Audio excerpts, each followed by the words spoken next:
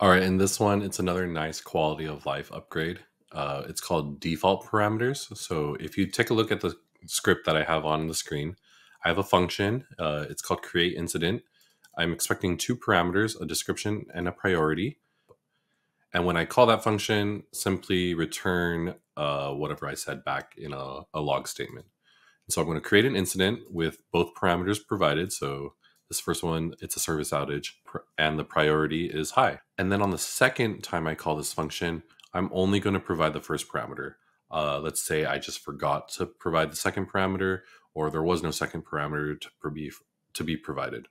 So if I press run script, uh, just as I expected, the first one works as, as intended. Here's that description, and here's that priority high. And then on the second one, it's what I expected. Uh, the description and the priority was undefined. I never provided the parameter.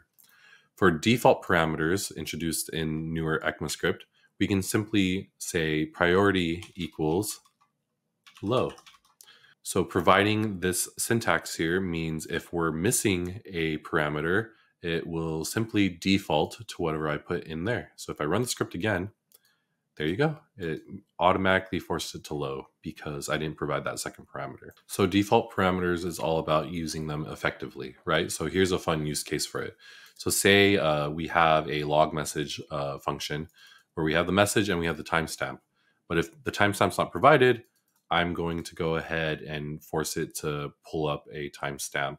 So from this example, uh, it's kind of like the reverse.